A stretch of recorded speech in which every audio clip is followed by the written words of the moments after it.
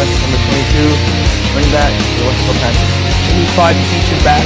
Uh, does a great job running. He, you know, he's got a lot of speed. He's got a lot of misdirection. He's got a lot of setbacks, He's got a great move. Mm, this year I'm a lot better because I can finish off my runs. Like last year, I had my hamstring bothering me every time I run the open field. Didn't really, you know, like feel a little like sharp pain every time I would run full speed. So it was kind of bringing me back a little bit.